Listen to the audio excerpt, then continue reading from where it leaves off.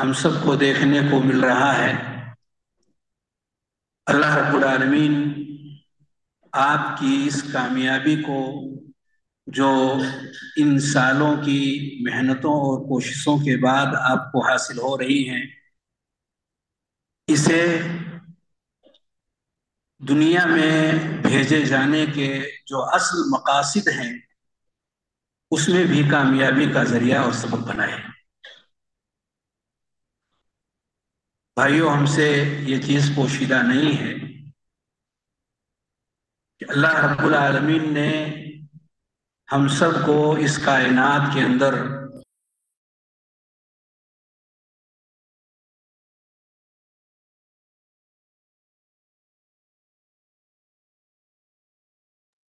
طلبا ہوں، سماج میں رہنے والے دیگر معزز حضرات ہوں سب کے پیدا کیے جانے کے پیچھے ایک مقصد ہے۔ اور وہ مقصد ہے اللہ رب العالمین سے قریب ہونا۔ اس کی عبادت اور بندگی کرنا۔ دنیا کی زندگی کو کامیاب ترین زندگی بنانا سکسیزفل زندگی گزارنا، نفع بخش زندگی گزارنا۔ اور یہ ممکن نہیں ہے جب تک کہ ہم ٹھیک طریقے سے ان چیزوں کو سیکھ نہ لیں، سمجھ نہ لیں، جو رب کریم نے قرآن مجید کے اندر، پیارے نبی صلی اللہ علیہ وآلہ وسلم نے احادیث مبارکہ کے اندر ذکر فرمائے ہیں۔ جب تک ہم مسلمان ان چیزوں کو سیکھ کر، سمجھ کر، جان کر اپنی زندگی کو اس کے مطابق نہیں ڈھالتے، ہمیں یہ کامیابی نہیں حاصل ہو سکتی۔ الذي خلق الموت والحياة ليبلوكم أيكم أحسن عملا۔ اللہ رب العالمین نے موت اور زندگی ہمیں اسی لیے بخشی ہے تاکہ ہمارا کام اچھا کام ہو۔ ہم چلتے ہیں، پھرتے ہیں، سوتے ہیں، جاگتے ہیں۔ لیکن ہمارا چلنا پھرنا نارمل نہ رہے۔ رب کی پسند کے مطابق ہمارا چلنا پھرنا ہو۔ ہمارا اٹھنا، بیٹھنا رب کے پسندیدہ طریقوں کے مطابق ہو۔ ایسا نہ ہو کہ ہم ان چیزوں سے قریب ہوں جو ہمارا رب نہیں چاہتا۔ ان چیزوں سے ہم دور ہو جائیں جو ہمارے رب کی پسندیدہ چیزوں میں سے ہے قرآن مجید کا علم نبی کریم صلی اللہ علیہ وآلہ وسلم کی احادیث مبارکہ کا علم، یہ وہ عظیم الشان راستہ ہے کہ جسے حاصل کرنے کے بعد سماج کے اندر پھیلی بہت ساری گمراہیاں۔ انسان دیکھ سکتا ہے، سمجھ سکتا ہے، ان سے اپنی زندگی کو الگ کر کے صاف ستھری زندگی بنا سکتا ہے، گزار سکتا ہے۔ میں اپنی بھائیوں سے اور تمام بھائیوں سے یہ گزارش کروں گا کہ آپ سیکھتے رہنے کے اس سلسلے کو کبھی موقوف نہ کریں۔ کبھی اس پر اثر نہ آنے دیں۔ علم کا یہ سلسلہ جو آپ نے یہاں سے شروع کیا تھا، جو آپ نے اپنے ان اساتذہ کرام سے سیکھنے کے سلسلے کو آگے بڑھایا ہے، اس سلسلے کو آپ آگے ہی آگے کی طرف بڑھاتے رہیں۔ جہاں یہ آئے گا، وہاں یہ اپنے پیچھے ایمان اور یقین آپ کو عطا کرے گا۔ ایمان اور یقین انسان کو اسی قدر حاصل ہو سکتی ہے جس قدر کی یہ نور اور یہ روشنی وہی الہی کی شکل میں رب کریم کی طرف سے پیارے نبی صلی اللہ علیہ وآلہ وسلم کو جو دی گئی ہے، اس کا جس قدر حصہ ہم حاصل کر سکیں گے، اپنے سینے میں جمع کر سکیں گے ہمارا سینہ منور ہوگا، ہمارے سینے کے اندر روشنی جمع ہوگی۔ اور یہی روشنی ہمارے عمل کے راستے سے بھی، ہماری زبان کے راستے سے بھی لوگوں تک پہنچے گی۔ گھر کے افراد تک پہنچے گی۔ سماج کے ایک ایک فرد تک پہنچے گی۔ اور لوگ اس روشنی سے تاریکی کے اندر موجود ایسی چیزوں کو بھی دیکھ سکیں گے جو ان کے لیے نقصان دہ ہے سماج کے لیے خطرناک ہے اس سلسلے کو جاری رکھنا اس لیے بھی ضروری ہے کیونکہ انسان اگر اللہ رب العالمین کی طرف سے آئی ہوئی اس عظیم الشان نعمت کی قدر اگر نہیں کرتا، تو آہستہ آہستہ یہ نعمت اس سے چھین لی جاتی ہے۔ اس سے الگ ہو جاتی ہے۔ اس سے وہ دور ہو جاتی ہے۔ اور پھر روشنی کے بعد وہ پھر دوبارہ ایک ایسی تاریکی کا شکار ہو جاتا جہاں جانے کے بعد اس کے لیے ہلاکت ہے، بربادی ہے۔ اور اس کے پیچھے اس کے اپنے گھر اور خاندان کے افراد جب ایسے رہنما کا، ایسے شخص کا جو علم اور فضل کا مینار تھا، اگر وہ برباد ہو رہا ہے، اگر اس کے راستے سے تباہی آ رہی ہے، تو آپ اندازہ کر سکتے ہیں کہ اس کے پیچھے جو لوگ ہوں گے، ان کا کیا حال ہوگا۔ اللہ رب العالمین نے اس کی اہمیت کو بیان کرتے ہوئے فرمایا وہ جہل نامن ہوں بأمرنا لما صبروا وكانوا بآياتنا يوقنون. ہم نے ان میں سے امام بنایا۔ امامت کے منصب پر ہم نے ان میں سے کچھ لوگوں کو پہنچایا، بلند اور اعلیٰ ترین مقام پر پہنچایا۔ جو لوگ اللہ رب العالمین کے حکم اور شریعت کو لوگوں کے درمیان پیش کرتے ہیں، عام کرتے ہیں، اس کی نشر و اشاعت کرتے ہیں، اسے پھیلاتے ہیں، لوگوں کو بتاتے ہیں، انہیں سکھاتے ہیں۔ اس کی گائیڈنگ اور رہنمائی کرتے ہیں۔ یہ حاصل انہیں کب ہوا؟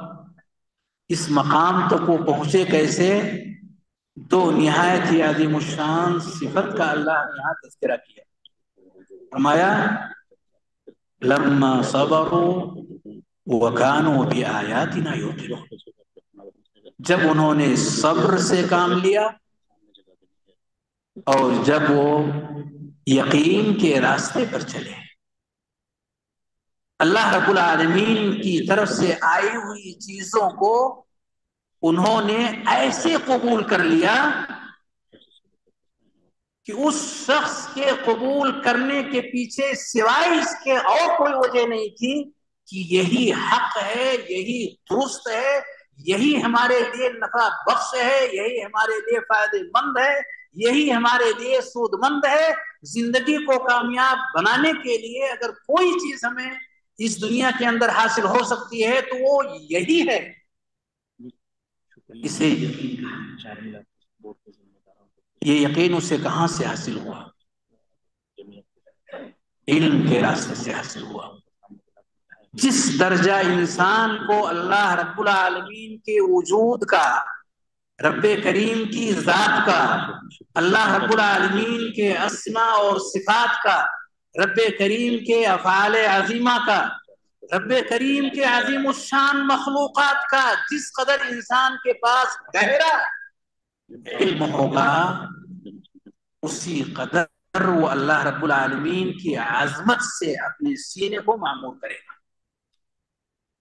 اور ہمیشہ اس عظیم اور کبیر ذات کے احکام اور عوامر کا اسی انداز میں والہانہ استقبال کرے گا۔ اسے قبول کرے گا۔ یہ یقین انسان کو جب حاصل ہو جاتا ہے، تو شکوک اور شبہات کی چادریں چھٹ جاتی ہیں۔ سوشل میڈیا پر یا مختلف اور راستوں سے جو ہمارے درمیان اس طرح کی چیزیں آتی ہیں، جو ہمیں آگے اور پیچھے ہمیشہ کرتی رہتی ہیں، نہ ہم آگے بڑھ پاتے، نہ ہم پیچھے ہٹ پاتے ہمیں یقین نہیں ہو پاتا اس میں صحیح کیا ہے، اس میں غلط کیا ہے، ہمیں کیا کرنا ہے، کیا نہیں کرنا ہے۔ وہاں یہ روشنی آتی ہے، علم کی روشنی آتی ہے اور اس کے پائے سبات کے اندر قوت بخشتی ہے۔ اور وہ نہایت ہی مضبوطی کے ساتھ ایسی چیزوں پر ثابت ختم ہو جاتا ہے۔ لیکن بھائیوں یہ کب حاصل ہوگا؟ کہاں سے حاصل ہوگا؟ یہ صبر کے راستے سے حاصل ہوگا۔ جس درجے کا صبر انسان کے اندر موجود ہے، اسی درجے کا علم اس انسان کو حاصل ہوگا اور اسی درجے کا عمل اس انسان کی زندگی کے اندر پایا جائے گا۔ علم اور عمل کی پختگی انسان کے صبر اور ضبط کی قوت پر ہے۔ جس درجہ وہ صابر و ضابط ہے، وہ انسان اپنے آپ کو روکنے پر، ایسی چیزوں پر جو ہمارا رب چاہتا ہے کہ ہم وہاں ٹھہر جائیں، وہاں ہم رک جائیں، اس چیز پر اپنے آپ کو روک لیں، وہاں ہم نے اپنے آپ کو نہ چاہنے کے باوجود اگر روکنے میں کامیابی حاصل کر لی ہے، تو یقیناً اس شخص کے لیے دنیا کی یہ زندگی نہایت ہی آسان ترین زندگی نہایت ہی خوشی اور مسرت والی زندگی نہایت ہی پرسکون زندگی اللہ رب العالمین بنائے گا۔ اسی لیے اللہ رب العالمین نے بار بار ہمیں اس کے سہارے کو اختیار کرنے کا حکم دیا۔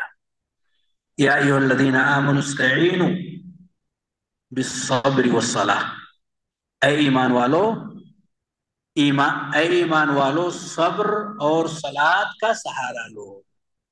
صبر اور سلاد کے سہارے سے وہ کام انجام دو۔ جن کاموں کو ہمارا رب چاہتا ہے کہ ہم اس دنیا کے اندر رہتے ہوئے انجام دیں۔ اور جن کاموں سے دوری ہمارا رب چاہتا ہے کہ ان سے ہم اپنے آپ کو دور رکھیں۔ جو بھی نقصان دہ چیزیں ہیں، سماج میں پھیلی ہوئی چیزیں ہیں، ایسی ساری چیزوں سے ہم اپنے آپ کو دور رکھیں اسی قدر جس قدر کی ہمارے رب کی پسند ہے۔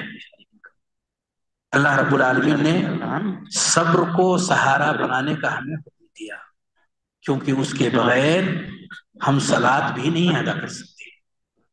ہم کوئی بھی عبادت نہیں ادا کر سکتے۔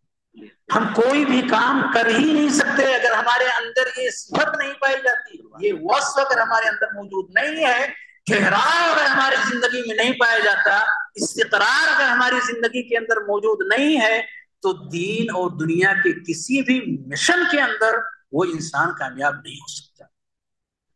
آپ اگر کسی چلنے والے شخص کو پکڑ کر مسجد کے اندر لا کھڑا کر دیں اور وہ اپنے آپ کو روک لے۔ ٹھہراؤ، اس کے اندر موجود ہو۔ آپ نے جو چاہا لا کر کے کھڑا کر دیا۔ صبر کا کام آپ نے کر لیا۔ دوسرے کام کی باری تھی اور وہ ہے سلاد اب اس شخص کو چاہیے کہ مسجد کے اندر آ ہی گیا ہے تو وہ کام کر لے جو ہمارا رب چاہتا ہے۔ رب کے سامنے جھک جائے۔ دل اگر نہیں چاہتا، مسجد کے اندر آ گیا ہے، اپنے آپ کو روک لیا ہے، جھکا دے رب کے سامنے۔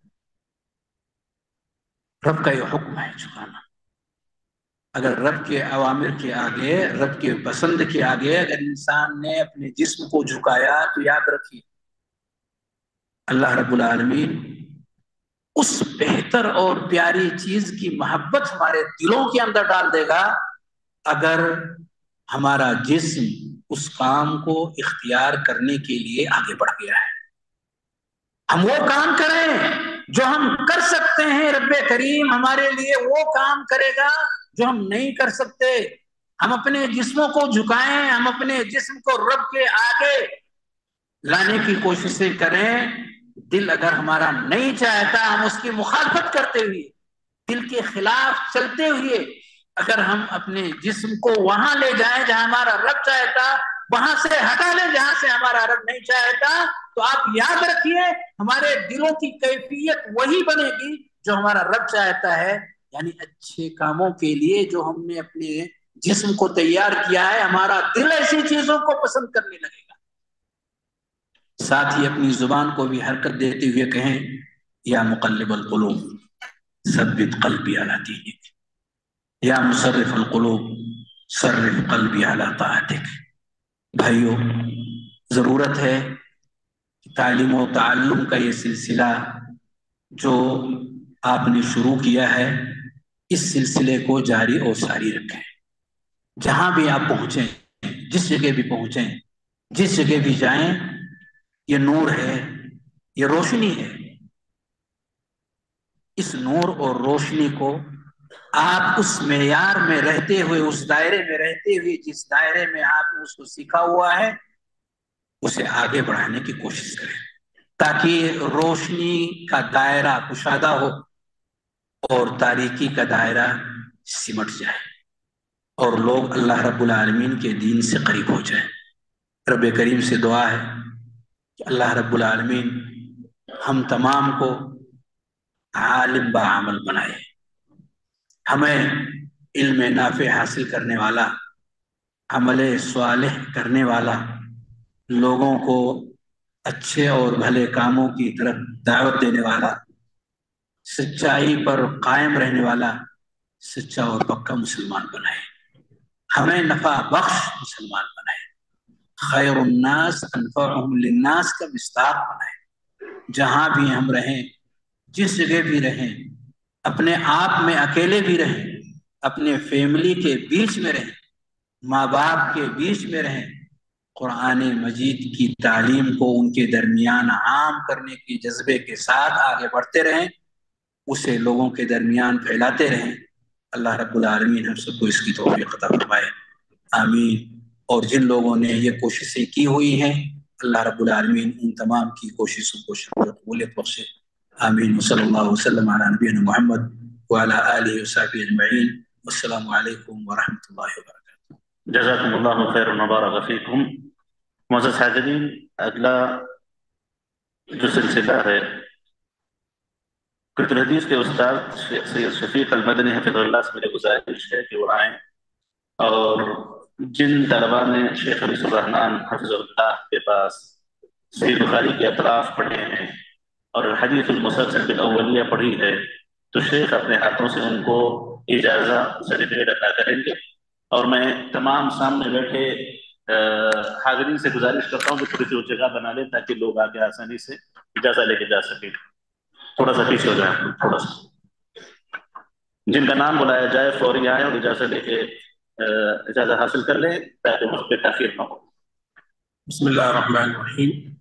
الحمد للہ رب العالمین والعاقبۃ للمتقین والصلاة والسلام علی رسولہ الامین وعلی آلہ وصحبہ اجمعین علی المرتبہ صدر محترم، مہمان خصوصی، معزز علماء اکرام، طلباء عزیز اور حاضرین جلسہ۔ آج ویسے یہ پروگرام سند فراغت کا پروگرام ہے جو کلیت الحدیث کے طلباء حدیث کا کورس مکمل کرنے کے بعد سند حاصل کرنے جا رہے ہیں۔ لیکن اس میں ایک اضافہ اور یہ ہوا کہ اس، اسی پروگرام میں شیخ استاد الاساتذہ حضرت مولانا انیس الرحمن اعظمی عمری مدنی فضح اللہ انہوں نے ان طلباء کو صحیح بخاری شریف کی سند دی ہے، جو سند کے جو طالب علم حاصل کر رہا ہے، اس سے لیتے ہوئے امام بخاری رحمۃ اللہ علیہ تک پہنچتی ہے، پھر وہاں سے اللہ کے نبی صلی اللہ علیہ وسلم تک پہنچتی ہے۔ ایک بہت بڑا اعزاز ہے کہ آج ہمارے درمیان ایسے اساتذہ کرام موجود ہیں، جن کے پاس ایسے اسناد موجود ہیں کہ ہم اس کے ذریعے اللہ کے نبی صلی اللہ علیہ وسلم تک جو ہے اپنا رشتہ، حدیث کا قائم کر سکتے ہیں۔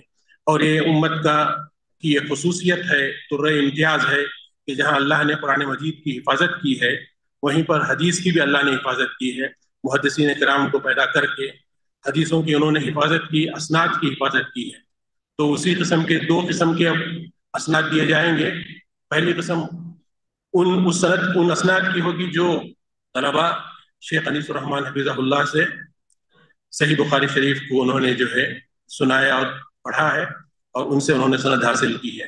دوسری سند اس قسم کی ہے جس میں طلباء کے ساتھ کچھ اساتذہ بھی انشاءاللہ آپ دیکھیں گے۔ یہاں تک کہ ہمارے صدر محترم بھی اس میں شریک ہیں۔ میں اتنی جسارت کر رہا ہوں کہ ان کا نام بھی لوں گا کہ وہ بھی جو ہے شیخ سے وہ وہ حدیث جو، جس کو حدیث مسلسل کہا جاتا ہے، مسلسل بالاولیہ پہلی مرتبہ اس حدیث کو انہوں نے سنا ہے۔ تو وہ حدیث کی صنعت جو ہے وہ انشاءاللہ مہمان خصوصی حضرت مولانا شیخ انیس الرحمٰن حفیظ اللہ سے وہ بھی حاصل کریں گے۔ پہلے طلباء کی باری رہے گی۔ میں نام بنام پکاروں گا۔ طلباء جو ہے فوری حاضر ہو جائیں اور شیخ کے دست مبارک سے اس صنعت کو حاصل کر لیں۔ یہ ہمارے لیے بھی، طلباء کے لیے بھی بہت ہی سعادت کی بات ہے۔ اللہ العالمین جو ہے ان حدیث پر جو ہم نے علم حاصل کیا ہے، عمل کرنے کی توفیق دے۔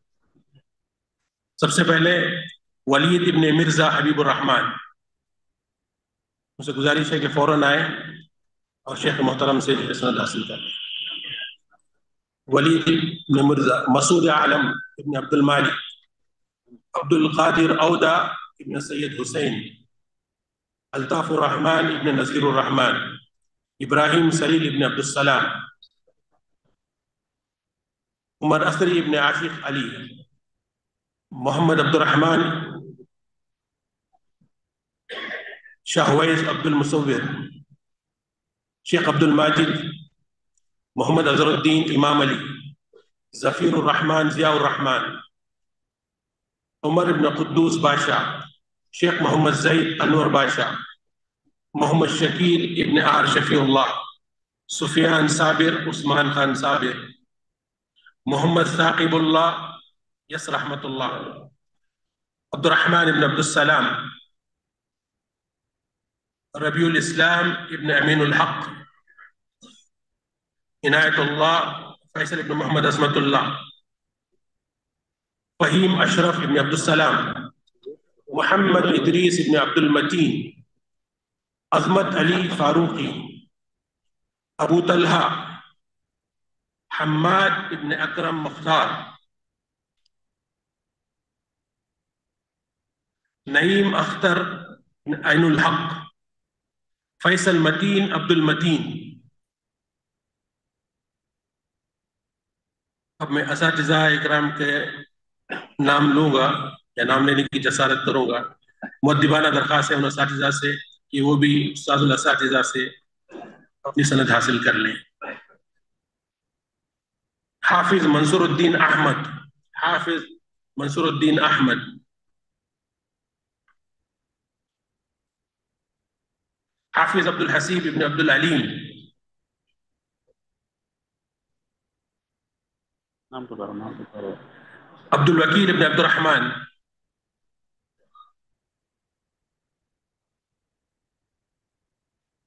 سوداگر محمد طارق.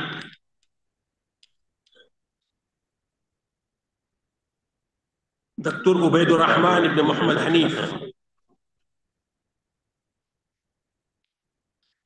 حنیف صدر محترم کی باری ہے۔ دکتور وسیع اللہ محمد عباس حفظ اللہ تعالی۔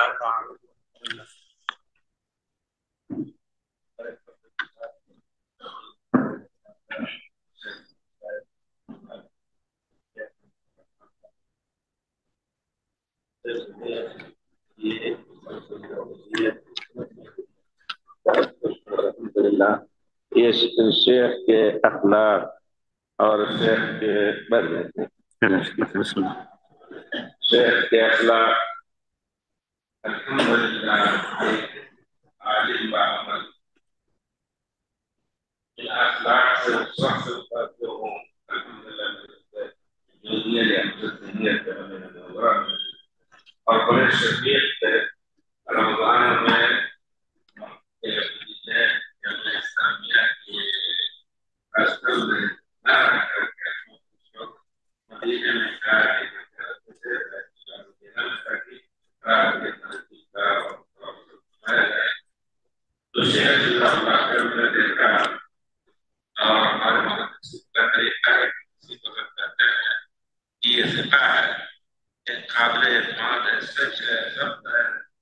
تو دیکھ کر کے ان کی صحبت کرا کر کے ہم کو یاد مگر اگر میں سے شیخ کے بارے میں بتاؤں تو یقیناً اس وقت میں نے دیکھا شیخ اس وقت سے بڑھ اور کرنا اس کے بعد اس سے اکثر بچے بہت سارے یا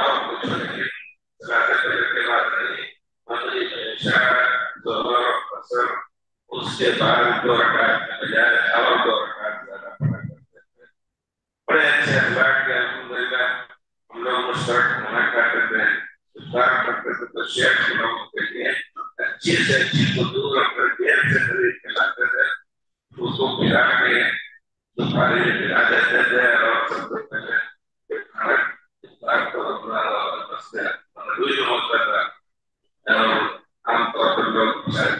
دیر سے خرید کے لاتے تھے اس کو پلا کے دوپہر میں پلا دیتے تھے اور سب سے پہلے کھانا افطار کو اپنا بس روئی ہوتا تھا اور عام طور پر لوگ چاہتے ہیں نعم انا اتكلم اتكلم اتكلم اتكلم اتصل به لم يرفع هو اتصل به انا لم ارفع اتصل به الان محنت ایک قائد کے حیثیت سے وہ کھانا پکاتے تھے اور مدراس کی بریانی بناتے تھے تو لوگ بولتے تھے کہ ہمارا مدراس کی بریانی بنائی اللہ تعالیٰ نے مجھے اچھا ہے میں نے بڑے فخر کے ساتھ یہ چیز پہلے کرا کہ میرے شیخ سے کا نام ہے شیخ علی الرحمن عربی اس زمانے میں میں تجھے کہ کوئی پوچھا کرتا تھا پوچھتا کہتا ہوں اس زمانے میں شیخ المسجد محمد المحدث الشیخ علی الرحمن عربی یہ خصوصیت کبھی لوگ جانتے ہیں اس کو یہ دعویٰ میں یہ پڑھتے تھے پولیس دعویٰ پولیس الشریعہ اس کو آسمانے کا پڑھتا پولیس دعویٰ کو پسند نہیں کرنا پڑھنے کی یہ تھی اس کے بعد چھوٹی میں پولیس الشریعہ کا بھی کی تیاری کی بات دو دو سنت ان کے پاس ہے ماشاء اللہ یہ یہ ساتھ دو دو سنت یہ چیز کا بھی لوگ یہ ہے ان کے محنت کا ایک مذہب ہم پر بانٹنا چاہیے کہ ہم بھی وقت کو بچا کر کے زیادہ سے زیادہ ایام طرف میں علم حاصل کرنے کی کوشش کریں میں آخر میں میں آخر میں یہی دعا کرتا ہوں کہ اللہ العالمین ہم سب کو اس طرح کے جو ہے اونچے مقامات حاصل ہوں۔ اور ہم سب گواہ ہیں آج کہ شیخ جو ہے، کتنے حضرات جو ہے سند حدیث المسلسل اولیہ حاصل کیے ہیں اس مجلس کے اندر۔ یہ بہت ہی شرف کا مقام ہے کہ آپ لوگوں نے دیکھا کہ حدیث کا کس طریقے سے جو ہے حدیث کا علم ایک دوسرے سے لیا جاتا ہے۔ باقاعدہ صنعت ہوتی ہے اتھینٹیسٹی ہوتی ہے نریٹرس کی، جو اللہ کے نبی صلی اللہ علیہ وسلم تک پہنچتی ہے۔ یہاں وہ احباب موجود ہیں جس جن کا تعلق، جن کے اساتذہ کی کڑی اور سلسلہ پیارے نبی صلی اللہ علیہ وسلم تک پہنچتا ہے۔ اللہ تعالیٰ سب کی حفاظت فرمائے، اللہ تعالیٰ ان کی زندگی میں برکت عطا فرمائے۔ اللہ تعالیٰ ہم کو زیادہ سے زیادہ ان سے فائدہ اٹھانے کی توفیق دے۔ وہ صلی اللہ علیہ نبی محمد وعلی وسلم الحمد للہ جزاکم اللہ خیرا۔ اس کے بعد میں استاد اساتذہ فضل الشیخ انیس الرحمان حاسمی مدنی اللہ سے گزارش کرتا ہوں کہ آپ ہمارے سامنے کچھ مفید باتیں رکھیں جزاکم اللہ خیرا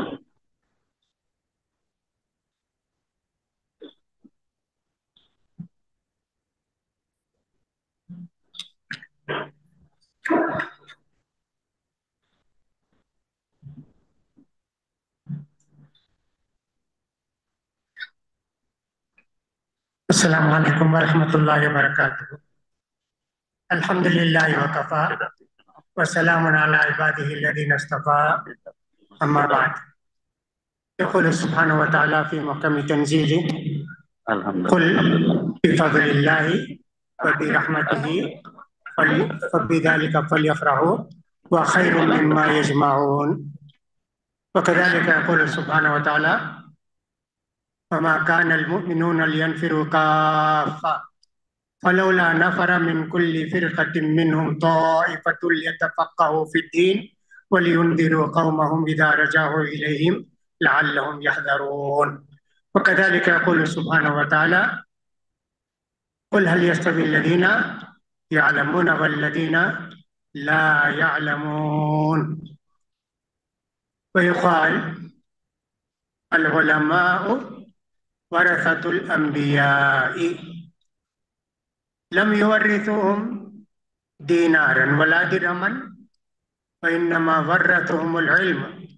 فمن أخذه أخذ بحظ وافر. محترم حاضرین ذمہ داران کلیت الحدیث اساتذ اکرام عزیز طلباء میری پیاری بہنوں اور میری پیاری بیٹیوں، یہ ہمارے لیے آج کا دن بڑی خوشی کا دن ہے، بڑی مسرت کا دن ہے۔ میں جن باتوں کو مختصر طور پر کرنا چاہتا ہوں، ایک بات تو یہ ہے، آپ کا کردار، جو آپ اتنے لوگ دور دراز سے یہاں آ کر جمع ہوئے، اس کی کیا حیثیت ہے؟ دوسری، ماں باپ جنہوں نے اپنے بچے اور بچیوں کو یہاں بھیج کر پڑھایا۔ تیسرا اساتذہ کرام کی ذمہ داریاں اور اس میں انتظامیہ بھی ہے۔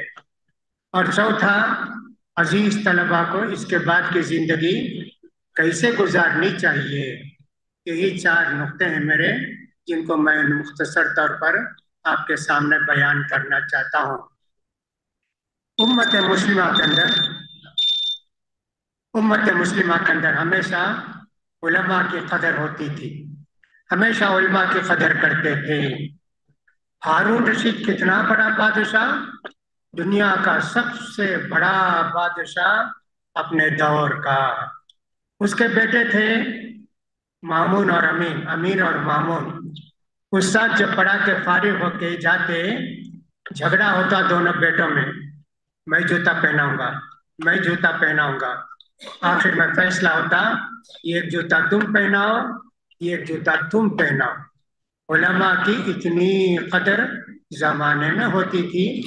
علماء نہ ہو تو سوچ کر دیکھیے زندگی ہماری کیسی ہوگی۔ مسجد بنا دی ہے، سب کچھ ہوا نماز پڑھانے والے نہیں ہیں جمعے کا خطبہ دینے والے ہیں، نہیں ہیں۔ شادی، نکاح پڑھانے والے نہیں ہیں۔ طلاق کا مسئلہ بیان کرنے والے نہیں ہیں۔ علماء کے بغیر پورا معاشرہ گمراہی کا شکار ہو جاتا ہے۔ اس لیے علماء کی قدر کرنا آپ کی ذمہ داری ہے۔ الحمدللہ، اتنی دور سے آپ انہیں علماء کی قدر کرنے کے لیے آئے ہیں کتنے فارغ ہو رہے ہیں۔ حدیث کا علم لے کے ہم کو جانا چاہیے، اس مجلس میں بیٹھنا چاہیے اور اپنے آنکھوں سے ان علماء کے چہرے کو دیکھنا چاہیے، جنہوں نے محنت کر کے، علم حاصل کر کے سند فراغت حاصل کی۔ آپ دور دراز سے تشریف لائے۔ میں آپ سب کا شکر گزار ہوں کہ آپ نے علماء کی قدر کی۔ ہمیشہ علماء کی قدر کیجیے اس لیے کہ علماء کی قدر کرنا چاہیے۔ اللہ کے رسول صلی اللہ علیہ وسلم فرماتے ہیں، علماء نبیوں کے وارث ہیں۔ اب اللہ کے رسول کہیں یا صحابی کہیں، علماء انبیاء کے وارث ہیں۔ انبیاء نے ان کو پیسہ نہیں دیا۔ درہم و دینار نہیں دیا، علم دیا۔ جو علم حاصل کرا، کرے گا، وہ بہت بڑا آدمی بنے گا۔ اور دوسری کچھ صحابہ نے کہا کہ دیکھو، علماء، انبیاء کے وارث ہیں۔ علماء کی جو قدر کرے گا، وہ اللہ اور اللہ کے رسول کی قدر کرے گا۔ اتنا بڑا مرتبہ علماء کرام کا ہے۔ ان کی قدر کرنے کے لیے آپ وقت نکال کر یہاں بیٹھے ہوئے ہیں۔ میں آپ سب کو مبارکبادی دیتا ہوں اور اللہ سے دعا کرتا ہوں کہ اللہ تعالیٰ آپ کی اس قربانی کو قبول فرمائے اور آج کے آپ کے آنے کو، بیٹھنے کو اللہ تعالیٰ قبول فرمائے۔ دوسری بات، مجھے یہ طلبا کے سرپرست یا ان کے والد ہیں، والدین ہیں، ان سے میں کہنا چاہتا ہوں، الحمدللہ، آپ نے اپنے بچوں کو دینی تعلیم حاصل کرنے کے لیے وقف کیا یہ معلوم ہے کہ دینی تعلیم حاصل کرنے کے بعد کوئی بڑی تنخواہ نہیں ملتی، کوئی بڑا مرتبہ نہیں ملتا۔ لیکن اللہ اور اللہ کے رسول کی امانت لوگوں کو پہنچانے والے، ویسے لوگوں کو تیار کرنے کے لیے آپ نے اپنے بچوں کی قربانی دی۔ اللہ تعالیٰ آپ کی قربانی کو قبول فرمائے۔ یقیناً آج کا دن آپ کے لیے بھی خوشی کا ہے، مسرت کا دن ہے۔ آپ کی بھی آنکھیں ٹھنڈی ہو جائیں گی۔ کہ ہمارا بچہ الحمدللہ کلیہ سے فارغ ہوا۔ حدیث کی سند لے کے الحمدللہ ہمارے ساتھ آ رہا ہے۔ یہ آپ کے لیے بہت بڑا تحفہ ہے۔ آپ کے بچوں کا لہذا آپ ان کی شادی وادی بھی کرنا چاہتے ہیں۔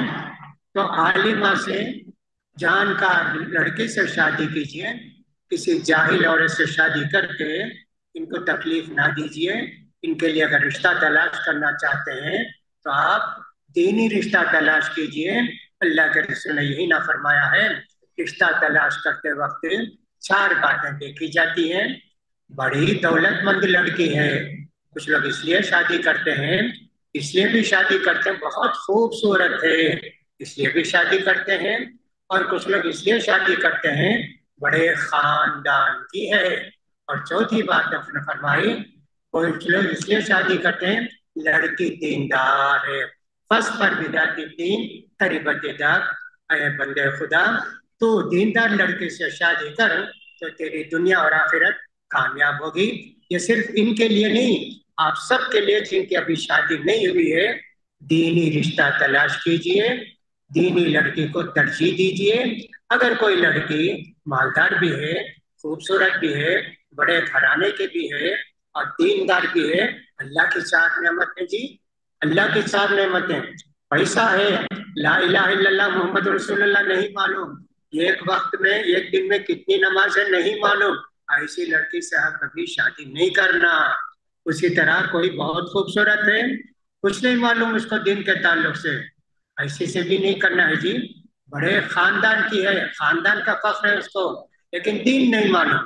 میں نے میں نے کہا، چاروں باتیں معلوم ہیں تو اللہ کی چار نعمتیں آپ کو حاصل ہیں۔ لہٰذا میں ان کے والدین سے گزارش کروں گا کہ ان لڑکوں کے لیے آپ رشتہ تلاش کریں گے۔ دینی رشتہ تلاش کریں۔ اس لیے کہ ماں، میاں، بیوی دونوں جب عالم ہوتے ہیں، الحمدللہ عالم کو وقت ملتا ہے، فرصت ملتی ہے۔ کبھی پڑھے گا، کبھی پڑھا کے سنے گا اپنی بیوی سے، میں سنتا ہوں تم پڑھو۔ پڑھ کے بھی سنائے گا، قرآن پڑھے گا، وہ بیوی سنے گی۔ دینی زندگی، دینی ماحول ہوگا۔ اس لیے میں ان ماں باپ کو اپنی طرف سے مبارکبادی دیتا ہوں۔ اللہ تعالیٰ ان کی قربانیوں کو قبول فرمائے۔ چوتھی بات، تیسری بات، اساتذہ کرام سے بھی، انتظامیہ سے بھی میں کہنا چاہتا ہوں۔ یہ جو طلبہ ہیں یہ آپ کے پاس اللہ کی امانت ہیں یہ جو طلبہ آپ کے پاس تین سال کا کورس مکمل کر کے جانے والے ہیں، انشاءاللہ یہ اللہ کی امانت ہے آپ کے ہاتھ میں۔ ان کو عالم بنانا، ان کو پڑھانا، علم کا تعلیم کا حق ادا کرنا، طلبہ کا خیال کرنا، ان کی پریشانیوں کو دور کرنا، ان کو اتنا عالم بنانا جتنے عالم آپ ہیں ویسے عالم ان کو بنانا ہے۔ تعلیم میں غفلت نہ کریں، ان کے انتظامات میں غفلت نہ کریں، ان کو پریشانیوں کا شکار ہونے نہ دیں، ان کو ہر طرح۔ اس طرح اساتذہ کا بھی آج امتحان ہے۔ ہم نے پڑھایا ہے کیا ٹھیک؟ یہ سال اتنا گزرا کیا ہم نے بچوں کو ٹھیک پڑھایا ہے؟ ان کے لیے بڑا امتحان ہے جی۔ ان کو سوچنا چاہیے۔ تعلیم کا حق ادا کیے ہیں اللہ کا شکر ادا کرنا چاہیے۔ اللہ تو نے ہم کو توفیق دی ان بچوں کو پڑھانے کے لیے۔ اللہ ہماری محنتوں کو قبول فرما اللہ اور جو امانت آئی، اس کو حق ادا کرنے کی آئندہ بھی توفیق دے۔ اور ہوتا ہی اگر ہم سے ہو گئے اللہ، ان بچوں کی تعلیم و تربیت میں اللہ تو ہم کو معاف فرما دے۔ اللہ، یہ اساتذہ کو بھی اور انتظامیہ کو بھی اس سلسلے میں غور کرنا چاہیے۔ اور آخری بات، چوتھی بات ان عزیز طلبا سے، جو کہ آج فارغ ہوئے ہیں۔ مجھے ان سے کچھ باتیں کرنی ہے۔ پہلی بات تو یہ ہے، میرے پیارے بچوں، اللہ نے فرمایا، اللہ کی مہربانی اور رحمت اتنی بڑی چیز ہے، خوش ہو جاؤ، یہ تم کو ملی ہے۔ اور بدال کا پھل یف رہو وہ خیر مما یجمعون۔ دنیا کے لوگ دولت جمع کرتے ہیں، پیسہ جمع کرتے ہیں۔ تم نے تو علم جمع کیا ہے، اور علم بہت بڑی دولت ہے۔ یا جامع العلم نعمت دخر تجمعہ لا تعدل النبی درم ولا ذہبا علم کے حاصل کرنے والے، تو اس کو چاندی سونا مت سمجھ۔ یہ تو موتی سے بھی زیادہ قیمتی ہے، جو علم تو حاصل کرتا ہے، یہ دین کا علم۔ الحمدللہ۔ پہلی بات تو یہ ہے، ان طلبا کو اللہ کا شکر ادا کرنا چاہیے کہ اللہ نے ہم کو دینی علم حاصل کرنے کی توفیق دی۔ اور ہمارے ماں باپ کو بھی توفیق دی کہ ہم کو یہاں بھیجیں اور ہمیں علم حاصل کریں، ان کو اس پر سوچنا چاہیے۔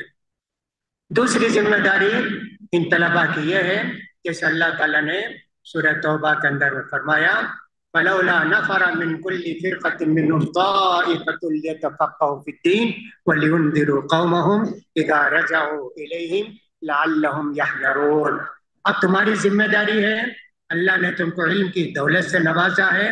اس علم کو پھیلانا، اس علم کو عام کرنا، دین کی خدمت کرنا، اس کی دوسروں تک دین کا علم پہنچانا، یہ آپ کے لیے ضروری ہے۔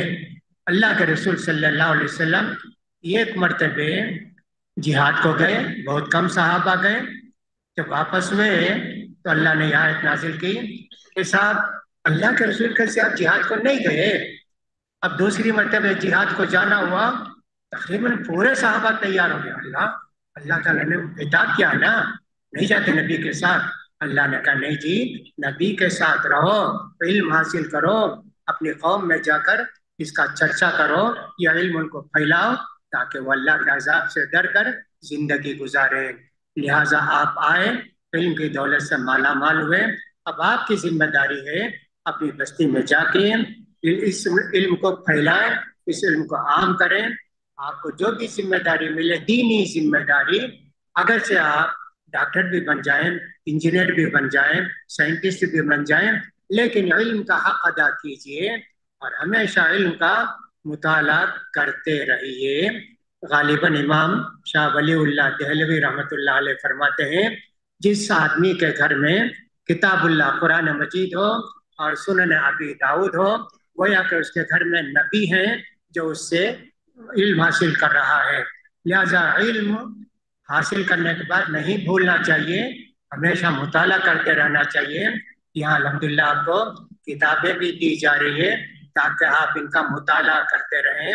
ایسا نہیں ہونا چاہیے کہ صاحب علم کو بھول جائیں گے، پھر اللہ کی طرف سے آپ پر اتاب ہوگا۔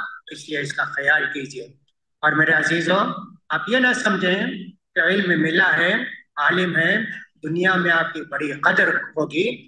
ہم نے آپ کو سونے کا اور چاندی کا تاج نہیں پہنایا ہے، ہم نے آپ کو کانٹوں کا تاج پہنایا ہے۔ بہت سارے لوگوں سے کی مخالفت بھی کبھی ہوگی۔ دین حق کی بات جب بھی بات کرتے ہیں، بیان کرتے ہیں، بہت سارے مخالفین بھی رہتے ہیں۔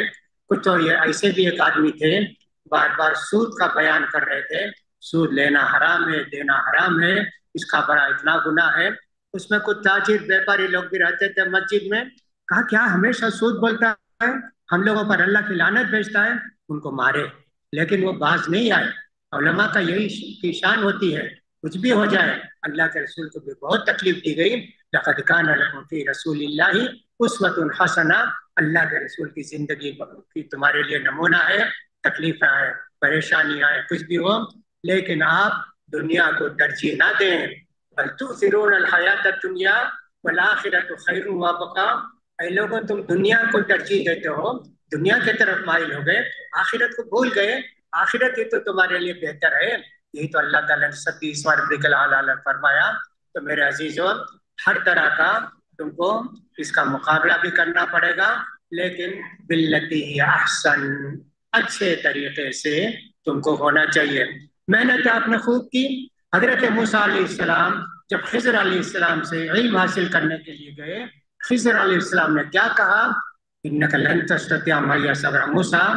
تم میرے ساتھ صبر نہیں کر سکتے جی۔ کہا صبر کروں گا۔ لیکن تین ہی مرتبے میں ان کا صبر ختم ہو گیا۔ دیکھو، صبر کرنا پڑتا ہے علم حاصل کرنے کے لیے۔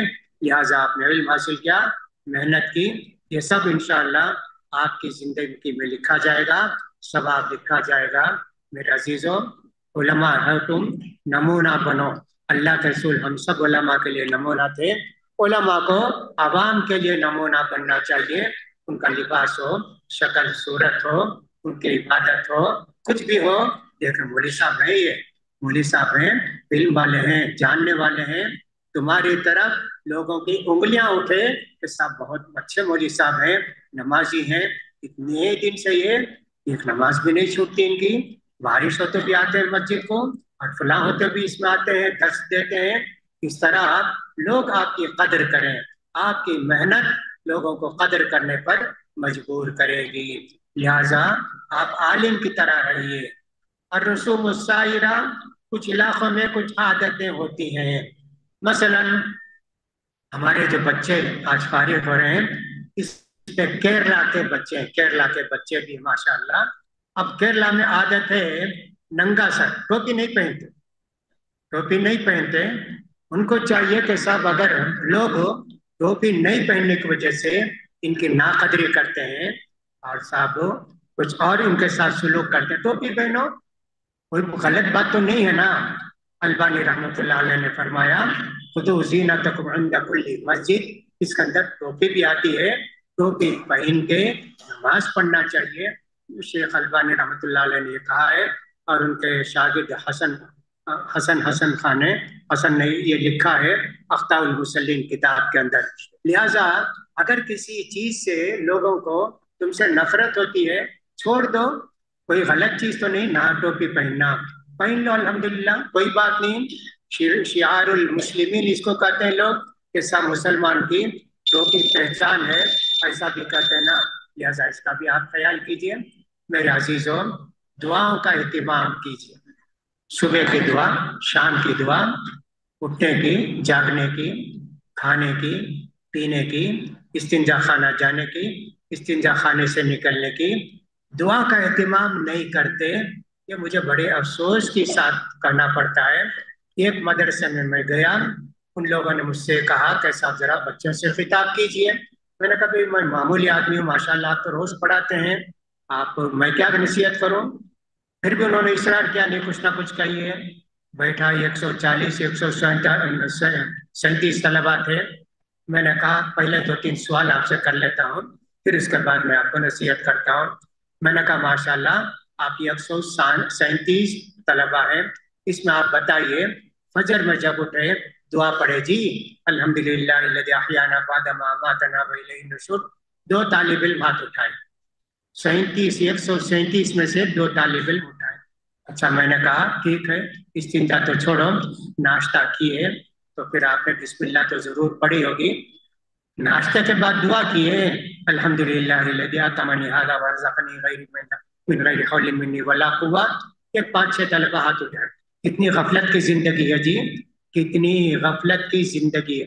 فد کرو نہیں اج کرو ہمیشہ مجھے یاد رکھو، میں تم کو یاد رکھوں گا۔ اللہ ہمارے ساتھ رہتا ہے جی۔ جب بھی دعا پڑھتے ہیں، کتنا یقین ہوتا ہے اللہ پر۔ اللہ ہمارے ساتھ ہے۔ صبح کے اسکار ہوں، شام کے اسکار ہوں۔ میں سب سے کرتا ہوں، صرف طلبا سے نہیں، آپ سے بھی کرتا ہوں برائے کرم ان باتوں کا خیال کیجیے میرا وقت بھی ہو گیا، دو تین منٹ زیادہ بھی ہوگی۔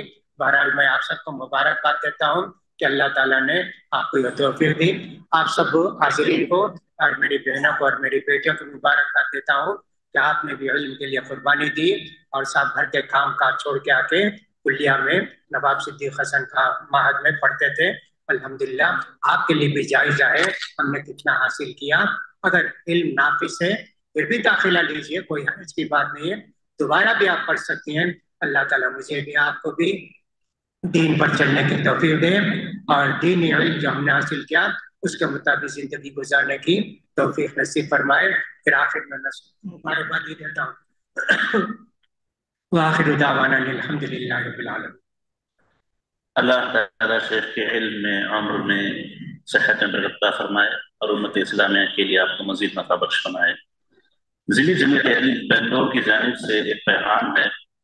الحمدللہ رب العالمین والصلاة والسلام علی رسول الکریم اما بعد. یقیناً ہم خوش نصیب ہیں کہ ہمارے علاقے میں ایک فن حدیث کا خوبصورت اور خوب مشہور ادارہ جامعت امام سید نظیر معروف بکلیت الحدیث بكلية الحديث بھی عموماً پورے ملک، خصوصاً جنوب ہند کے عوام و خواص میں اپنی پر اثر اور روحانی مہک پہ کھیل رہا ہے۔ ساتھ ہی حضرت علیہ بن نواجد کے مصداق منہج صلف و منہج صحابہ کی اور خالص توحید و سنت کی ترجمانی کر رہا ہے۔ اسی طرح جہاں معاشرے قرآن کا موضوع تھا وہی حدیث کی طرف علاقے میں توجہ دے کر معاشرے میں متن حدیث کے حفظ پر ایک شعور پیدا کرتے ہوئے وقتاً فوقتاً آن لائن ہو کے آف لائن متن حدیث پر مسابقے چلائے۔ لہٰذا آج آٹھ اکتوبر دو ہزار تیئیس شام کو منعقد ہونے جا رہے کلیے کے حفل تخرج کی مناسبت سے ضلعی جمعیت اہل حدیث بنگلور پورے خلوص و مسرت کے ساتھ ادارہ اور جملہ منصوبین ادارہ کو ہدیہ تبریک و خراج عقیدت پیش کرتی ہے۔ احسن احسنتم جميعا وبوركت جهودكم ووفقكم الله وتقبل الله منكم امين مجلس کو آگے بڑھاتے ہوئے میں فضلت الشیخ حافظ حسین مدنی حضرت اللہ سے گزارش کرتا ہوں۔ کہ وہ کلیے سے فارغ طلبہ کو فراغت کا ہدیہ سرٹیفکیٹ اور انعامات، نوازیں۔ اور میں تمام طلبہ سے گزارش کرتا ہوں کہ وہ وقت کا خیال کرتے ہوئے اسٹیج سے قریب رہیں اور اپنے ہدیات لیتے ہوئے کرسیوں کے پیچھے سے واپس جائیں۔ اور اسی طریقے سے میں ماہر کے جتنے طلبہ و طالبات کے ذمہ داران ہیں ان سے گزارش کرتا ہوں کہ اسٹیج سے قریب ہو جائیں تاکہ ان کی کارروائی بھی جلدی سے ہو سکے۔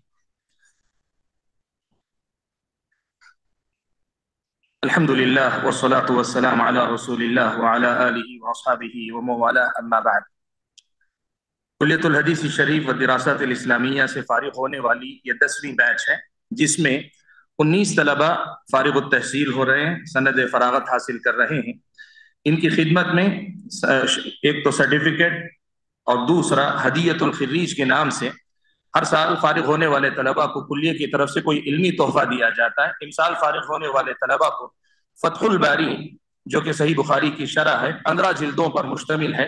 یہاں پندرہ جلدیں پوری نہیں دی جا سکتی، صرف اس میں سے جلد اول دی جا رہی ہے۔ بقیہ چودہ جلدیں طلبہ کلیہ سے وہ لے چکے ہیں یا لے لیں گے۔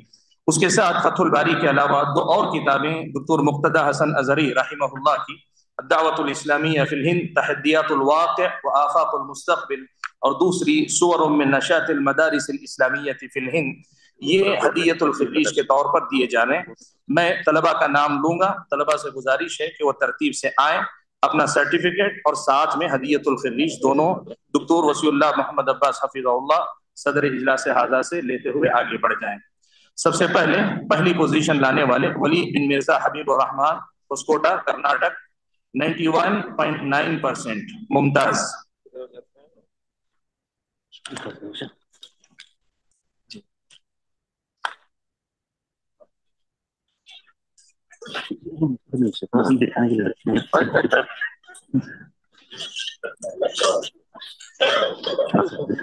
عالم بن عبد المالک، دوسرا نمبر، سوناکول، ویسٹ بنگال سے، eighty nine point six percent جید جدہ۔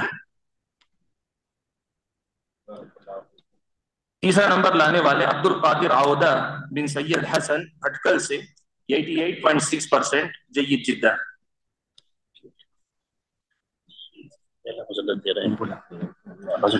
الطاف الرحمان بن نذیر الرحمان چوتھا number, T P G Andhra eighty eight point four percent جید جدہ۔ طالب علم صحیح بخاری کی صرف ایک جلد لے جا رہے ہیں، بقیہ چودہ جلدیں ہر طالب کو اتنی جلدیں بکلیہ سے وہ لے لیں۔ گے ان کے بعد ابراہیم سلیل بن Abd us Salam Mangalore, Karnataka eighty five point seven percent جید جدہ۔ چھٹے طالب ہیں عمر اثری بن Ashiq Ali Asari, New Delhi eighty four point one percent وہ موجود نہیں ہے ان کی جگہ ان کے ساتھی محمد عبد الرحمان سرٹیفکیٹ اور حدیت الخریج لیں گے۔ اور ان کے ساتھ اگلا نمبر خود محمد عبد الرحمان کا ہے۔ یہ نو مسلم ہے محمد عبد الرحمان اللہ کا فضل و کرم ہے۔ اڑیسہ سے تعلق رکھتے ہیں eighty three point five percent انہوں نے حاصل کیا جید جدہ ان کے بعد شہویز عبد المصور محمود بن Sufi Khan Mahmood Ahmad, Mangalore, Karnataka, eighty one eighty one point seven percent جید جدہ اکاسی اشاریہ سات۔ ان کے بعد شیخ عبد الماجد ان کے بعد شیخ عبد الماجد بن Shaikh Jani Mian, Kurnool, Andhra Pradesh eighty one point five percent اکاسی اشاریہ پانچ جید جدہ۔ محمد اظہر الدین بن Imam Ali, Chennai, Tamil Nadu eighty point two percent جید جدہ۔ ان کے بعد ظفیر الرحمان بن ضیاء الرحمان یہ موجود نہیں، ان کی جگہ ان کے بھائی الطاف الرحمان آئیں گے۔ ظفیر الرحمان بن Zia Urrahman T P G Andhra, seventy nine point nine percent جید ظفیر الرحمان ان کے بعد عمر بن Quddus Badshah Mulbagal, Karnataka, seventy eight point one percent جید۔ ان کے بعد شیخ محمد زید، شیخ محمد زید بن انور بادشاہ، وائل باڑ Andhra seventy eight percent Muhammad Shakeel, ان کے بعد محمد شکیل بن یمار Shafiullah, Bellary, Karnataka seventy seven point five percent ستہتر اشاریہ پانچ جید اگلے تقریب میں سفیان ثابت بن Usman Khan Sabit, Bangalore, Karnataka seventy six point nine چھہتر اشاریہ نو فیصد جید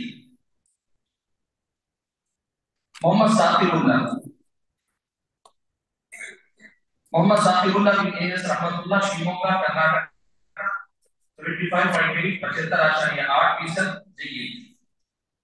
ان کے بعد عبد الرحمن بن عبد السلام صدر کرناٹکا بہتر فیصد، سیونٹی ٹو پرسینٹ جید ان کے بعد ربیع الاسلام بن علی الحق مالدہ ویسٹ بنگال سے ہیں، یہ موجود نہیں، ان کی جگہ ان کے ساتھی مسعود عالم ان کا سرٹیفکیٹ اور ہدیہ دیے سیونٹی پوائنٹ سیون چاہیے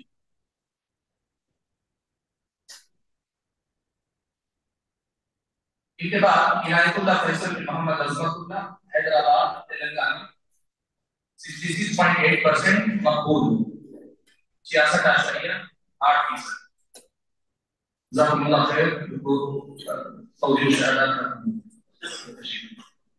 اور اسی یعنی طلبہ نے جو نام انعامات حاصل کیے ہیں اس کی تفصیل ہے۔ تفصیل انعامات کے لیے میں فضیلت الشیخ انیس الرحمن آزمی پوری مدنی حفظ اللہ سے گزارش کرتا ہوں کہ وہ انعامات ادا کریں۔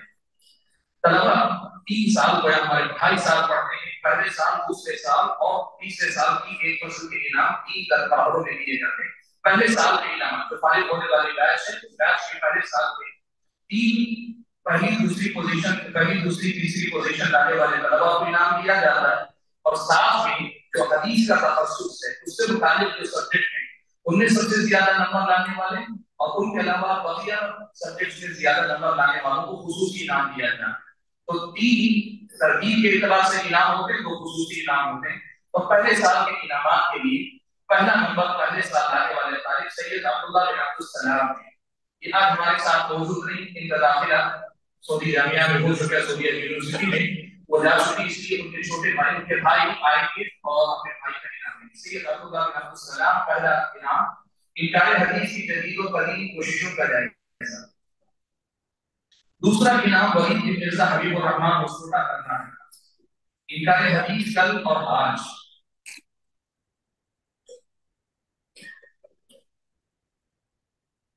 تیسرا انعام مسعود عالم عبد المالک ویسٹ بنگال سے فتاوہ علمیہ زبیر علی زہی رحمہ اللہ تخصص کا خصوصی انعام سید عبداللہ عبد السلام بنگلور کرناٹکا سے دو کتابیں شروع کی جا رہی فتح السلام کی بیان عقیدہ عقیدت اہل الازہر نواز حسن خان رحمہ اللہ کی اور ساتھ میں فضائل صحابہ و آل بیت یہ تخصص کا خصوصی انعام حاصل کرنا اور دراست اسلامیہ کا خصوصی انعام ولید بن مرزا حبیب حاصل کرنا ہے بلاد کا انسائکلوپیڈیا سنہ ثانیہ دوسرے سال کے انعامات کی ترتیب ہے۔ پہلا انعام ہے ولید بن مرزا حبیب انکار حدیث کی ترتیب و جدید کوششوں کا جائزہ اور دوسرا انعام، مسعود عالم۔ دوسرا انعام سنہ ثانیہ دوسرے سال کا دوسرا انعام، مسعود عالم عبد المالک ویسٹ بنگال سے انکار حدیث کا دوران تیسرا انعام حاصل کر سید عبداللہ بن عبد السلام تلخیص الموضوعات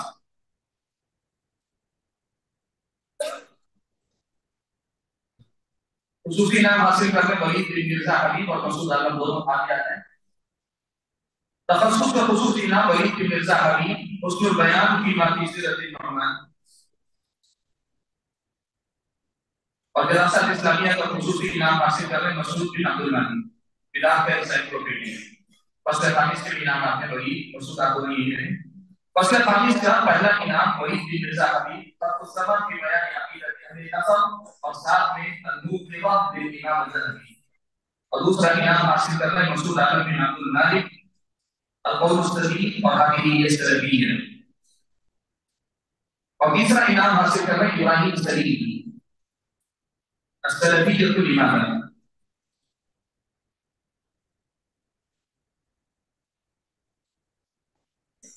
اسی کے ساتھ جو آج فارغ ہونے والی بیچ ہے ان کے انعامات تک ہوتے ہیں میں شیخ حمیز الرحمان صاحب کا شکریہ ادا کرتا ہوں اس کے بعد ہمارے دوسرے مہمان خصوصی فضیلت شیخ عبد الرحمان سے گزارش کرتا ہوں کہ کلیہ میں ابھی زیر تعلیم جو بیچ ہے اس بیچ کے ایک سال کے انعامات ہیں وہ آپ اپنے ہاتھوں سے دیں پہلا انعام حاصل کر رہے ہیں پہلے سال کا۔ حسن احمد سالم بابو حیدرآباد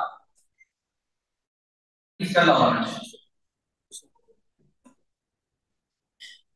دوسرا انعام شاہد رشید، تیسرا دوسرا انعام عبد الفتاح تیسرا شاہد رشید۔ پہلا انعام حسن احمد باخلے ان کا حدیث کا رواج الجائزہ الثانیہ لقب الفتاح من تامل ناصر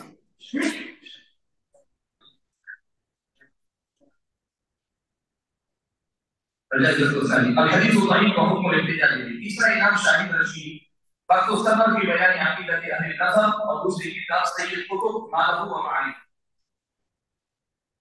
التخصص اور الدراسات یہ دونوں انعام حسن رہے ہیں حسن حیدرآباد کے یہ دونوں انعام رہے ہیں تخصص کا انعام اہل حدیث کا دینی تصور اور دوسری کتاب خیر في من من اور دراسات اسلامیہ کا خصوصی انعام بلال کا عیسائی کو دیا جزاکم اللہ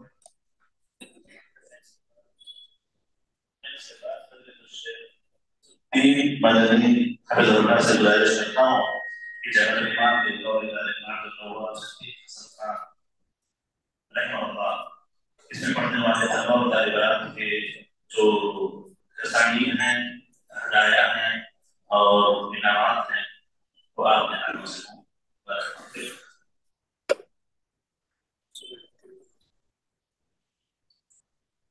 الحمد لله رب العالمين والصلاة والسلام على رسول الله وصحبه أجمعين أما بعد. صدر إجلاس مهمانان الإعلامي عزيز طلباء دكتور المجلس بعض الطلاب في سلمان للدراسات العربية تین سالہ کورس ہے جس میں کچھ چھ سمسٹر ہوتے ہیں۔ دو ہزار اٹھارہ میں اس کا قیام ہوا؟ دو دفعہ دو بیچ تک معلوم ہو چکی ہیں، ان کے درمیان شہادات کی تقسیم، سندوں کی تقسیم ہوگی پہلی بیچ اس میں کل تینتیس طلبا داخلہ لیے تھے آخر میں آخری جو سمسٹر آیا، اس میں پانچ طلبا باقی رہے اور امتحان میں شریک رہے۔ دو نے مکمل کامیابی حاصل کی ہے۔ ان دونوں کو سند سند اور ہدیہ سے نوازا جا رہا ہے۔ لہٰذا محمد سبی اللہ بن محمد شبر اللہ آئے اور اپنا انعام صدر محترم، صدر اجلاس سے حاصل کریں تو سند ہے اور دو ہزار روپے انہیں دیے جا رہے ہیں تاکہ اپنی پسند کتابیں خرید سکے ستانوے فیصد پوائنٹ آٹھ ان کا فیصد ہے۔ دوسرے نمبر پر حزیر خالد بن یمجی خالد، بنگلور کے ایٹی ایٹ پوائنٹ فور ججی کتاب۔ وہ آئے اپنا شہادہ اور اپنا ہتھیار دے دوسری دفعہ میں اٹھارہ طلبات ہیں اور آخر تک کل سات رہے سات میں سے دو نے کامیابی حاصل کی ان میں پہلے نمبر پر عبد الرحمان خرشد النی وہ آئے۔ اپنا انعام اور شہادہ دے ان کا فیصد ہے نائنٹی ٹو پوائنٹ فائیو۔ ممتاز، انہیں بھی دو ہزار روپے دیے جا رہے ہیں۔ دوسرے نمبر پر محمد سیاح اللہ خان میں محمد سیاح اللہ خان مالور کرناٹک کے ایٹی ٹو پوائنٹ جی جہیدہ ہیں، وہ آئے اپنا شاہزہ ہدیہ اور شاہدہ نورہ خان۔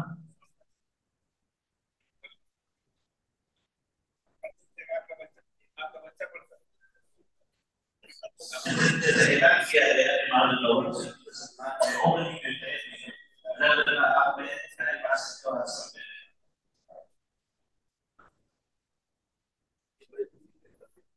اور طالبان میں جو دوسرا سیکشن ہے طالبان کا اس میں پہلی پہلی بیاس مانی ہوئی ہے اور عالم ہونے والی طالبات میں پہلے نمبر پر فرحا فیروز اللہ فیروز سے قانون کی ہے تمل ناڈو کی نائنٹی سکس پوائنٹ سکس ممتاز ان کے شارٹ فکرال محمود آئے سند شہادہ اور دو ہزار روپے۔ دوسرے نمبر پر نہلا صدا بنت Mufakkir Hussain Bangalore ninety five point seven ممتاز، ان کے والد آئے۔ تیسرے نمبر پر اسما حاصل، Krishna Modi Tumkur Karnataka, ninety three point six ممتاز، ان کا شوہر سفیر آصف آئے۔ یہ طالبان کافی ہوتی ہیں، الحمدللہ کافی لگن سے ہوتی ہیں، اللہ تعالیٰ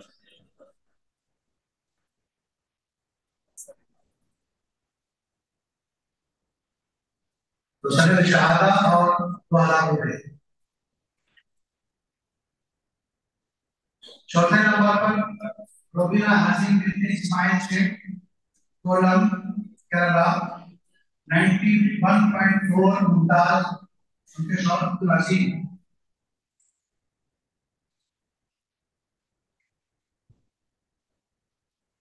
پانچویں نمبر پر آسیہ نسیم بنت Muhammad Younus Bangalore eighty eight point three کے ڈی جیتا ان کے بھائی شعیب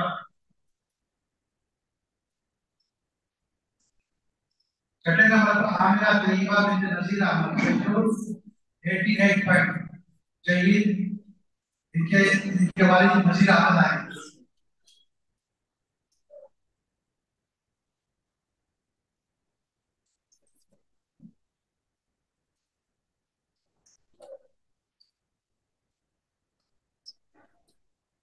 اس پر سید عفیفہ بنت سید برہان الدین بنگلور ان کے والد آئے۔ سید برہان الدین صاحب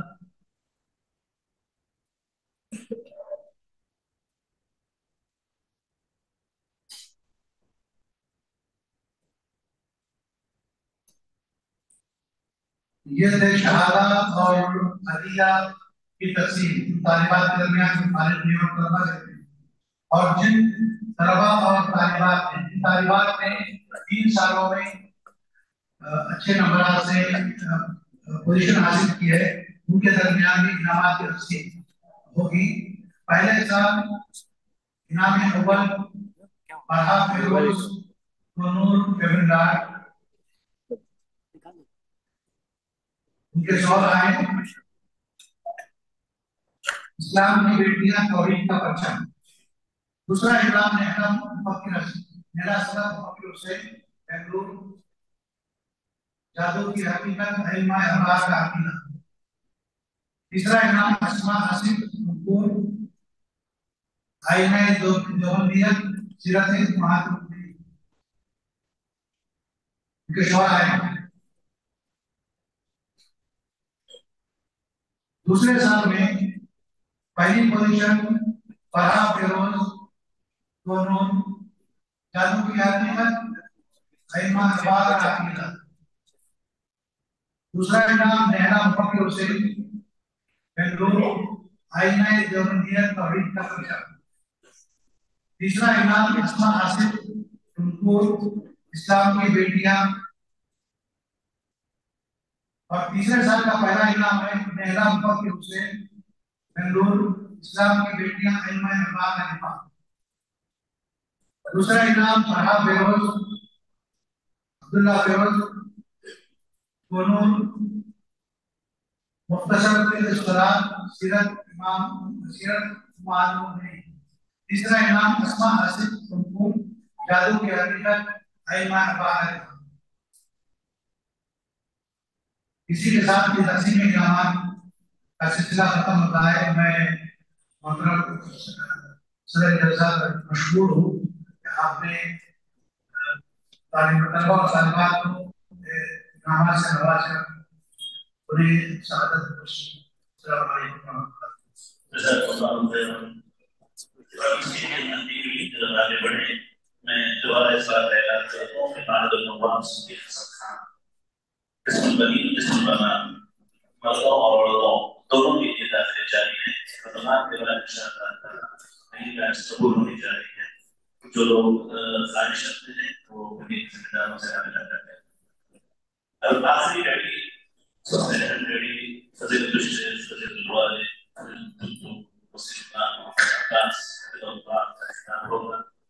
ہم آپ تمام لوگوں کے شکر گزار ہیں کہ آپ اطمینان کے ساتھ سنتے رہے۔ آپ میں سے بہت سے معزز مہمان ہیں اور بہت سے ذمہ داران ہیں۔ سب ہمارے رفیق، معزز ہیں، محترم ہیں محترم ہیں۔ ہم آپ کے شکر گزار ہیں۔ اعظم تدوزها الشيخ كتابه الغوص على السماعات فلنتفضل مشكور جزاه الله خيرا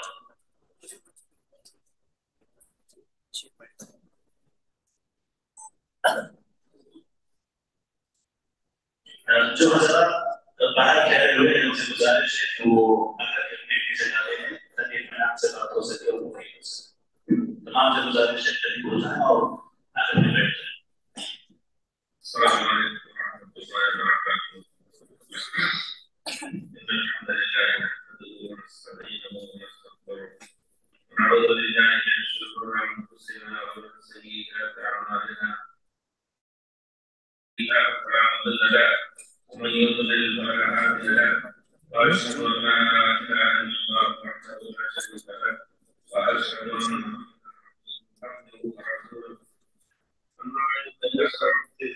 ورحمۃ وخير الهدي محمد صلى الله عليه وسلم وشر الأمور محدثاتها وكل محدثه بدعه وكل بدعه ضلاله وكل ضلاله في النار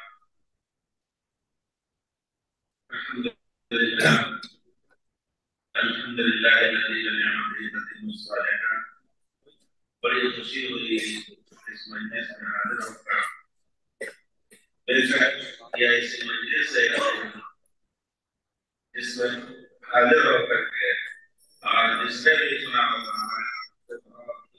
کئی باروں سے کچھ محسوس کیا ایک بار الحمد للہ جامع تو سید نظر رحمۃ اللہ علیہ جامعہ سے باہر تفصیل حدیث اور حدیث اور حدیث کے علماء ان کی انشاءاللہ ایک شان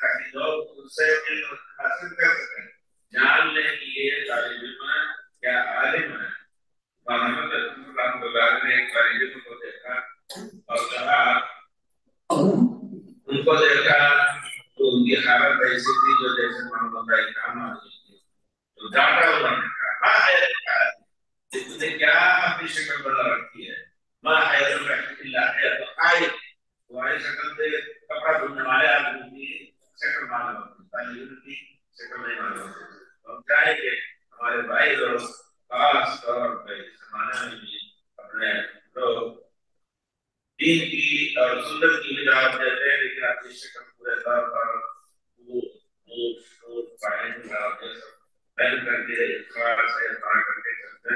ہم ان سے گزارش کرتے ہیں کہ نہیں کفار کی مشابہت بھی رسول نے اس سے بنا دی تشبہ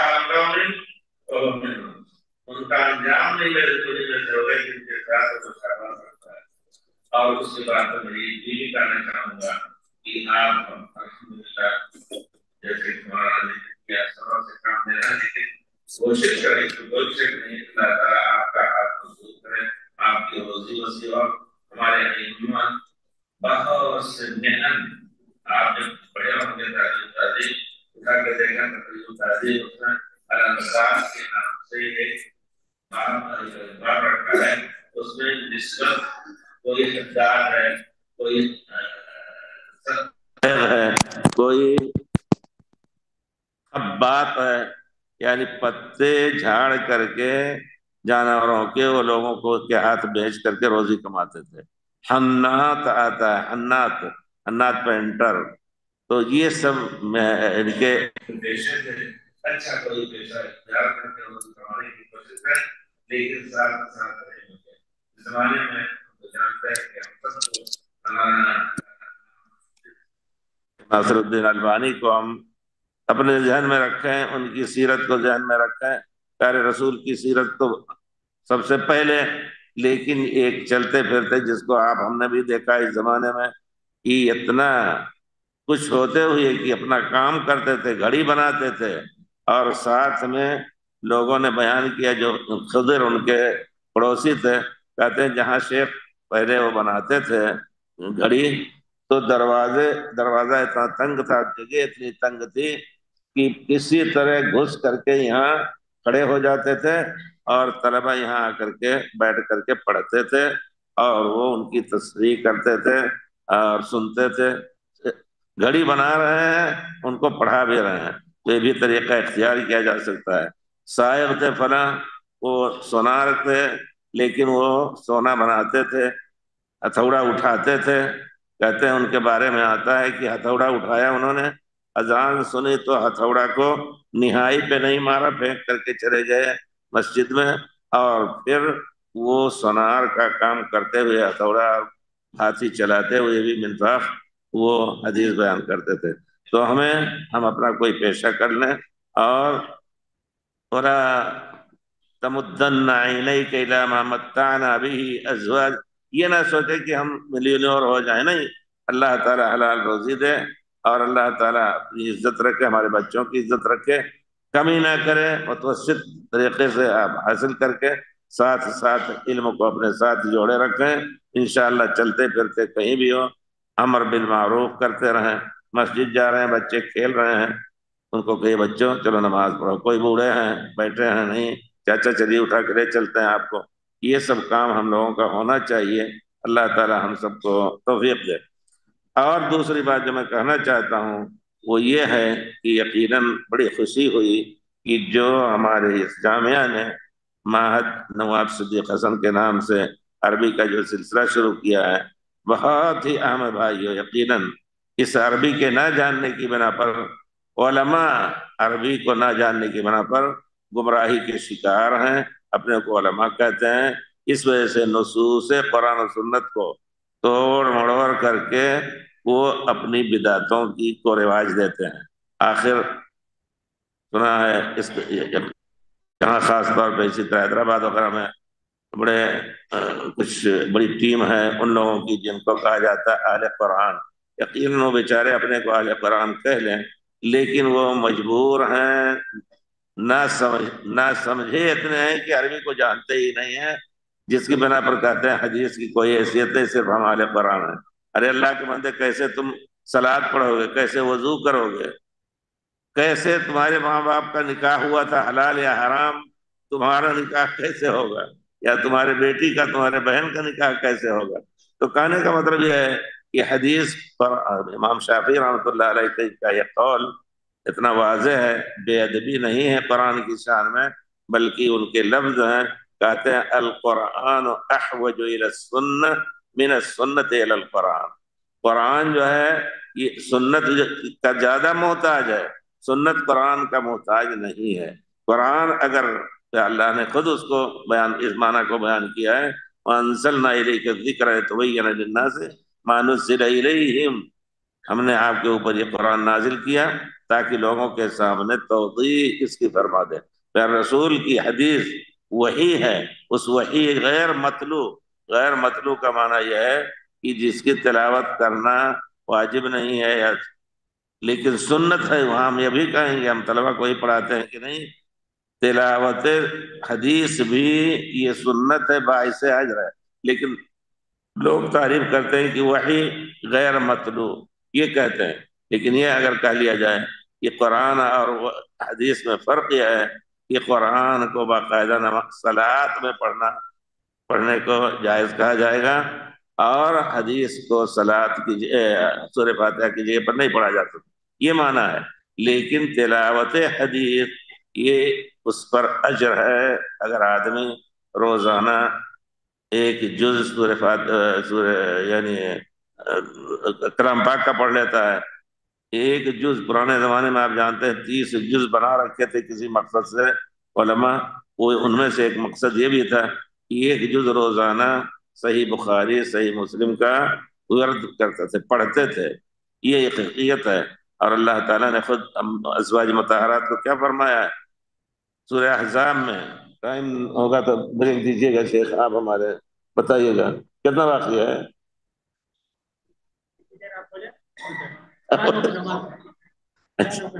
اچھا ٹھیک ہے ٹھیک ہے۔ تو وذکر ما فی بیوتکن من آیات اللہ والحکمہ۔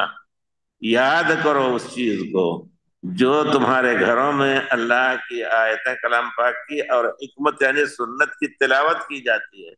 تو سنت کی تلاوت بھی سنت ہے۔ اور آخری زمانے میں ہم نے مولانا عبدالحق باول پوری محدث جن جو جن کی تاریخ ہے یہ کہ جب وہ گئے تھے وہاں، جس سال شاہ عبدالعزیز آئے مکے میں اور ابھی لوگ جو ہے اللہ المستان وہ نکلے نہیں تھے جدہ سے، ان کے وہاں جو مکے کے اس وقت بادشاہ تھے، بھاگ کر کے جدہ میں بنا لیا۔ چاروں طرف لوہے کی سلاخیں لگا دی۔ اور مندرگاہ کا کھلا چھوڑا کی مدد مانگ رہے تھے اپنے بھائی سے، عراق سے۔ مدد نہیں آئی۔ تو اس سال ہی کے کچھ لوگوں نے اور خاص طور پہ جو بعض سیاسی شخصیتیں تھیں، انہوں نے کہا، وہابی جھنڈے کے پیچھے حج صحیح نہیں ہے، ہندوستان، نیپال کے، ہمالیہ کے نیچے سے لے کر کے افغانستان تک یہ اعلان کرتے ہیں کہ کوئی حج پر نہ جائے۔ پیچھے پیچھے شیخ ثناء اللہ امرستری نے اپنے مندوبین کو بھیجا۔ کہ نہیں، اس سال آٹھ سو سال کے بعد سنت کے جھنڈے کے نیچے حج ہوگا، جو جا سکے جائے۔ الحمدللہ، گئے بہت سے لوگ۔ شائبہ اتارے گئے، ہمارے دادا اس میں گئے تھے۔ میں نے نہیں دیکھا، ان کو چھوٹا تھا، لیکن دوسرے ان کے چھوٹے دادا یعنی ان سے اٹھارہ سال عمر کی کم تھی، ساتھ میں آئے تھے تو بتا رہے تھے کہ شعیبہ اتارے گئے ہم لوگ۔ تو کہنے کا مطلب یہ ہے کہ میں کیا کہہ رہا تھا؟ کہ الحمدللہ۔ ہاں؟ ہاں اس اس سال مولانا عبدالحق بھاول پوری اور مولانا عبداللہ لکھنوی گئے تھے حج پر۔ شیخ سبیل نے مجھے یہ قصہ بتایا۔ کہتے ہیں کہ شاہ عبدالعزیز نے، چونکہ اہل حدیثوں نے ان کی مدد کی تھی، بہت ہی الحمدللہ ان کا احسان مانتے تھے، ان سے دفاع کرتے تھے۔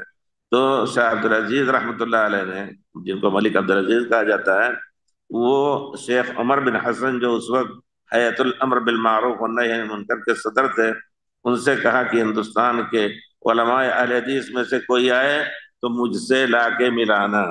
اس سال ہی مولانا عبدالحق باول پوری گئے تھے اور مولانا عبداللہ لکھنوی گئے تھے، تو انہوں نے لے جا کر کے ملایا۔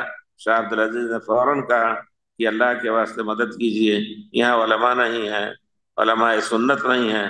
آپ لوگ نہ جائیے، ہم آپ کو یہاں کی نیشنلٹی دیتے ہیں، بچوں کو، سب کو، اور یہیں رہ کر کے دین کی خدمت کیجیے۔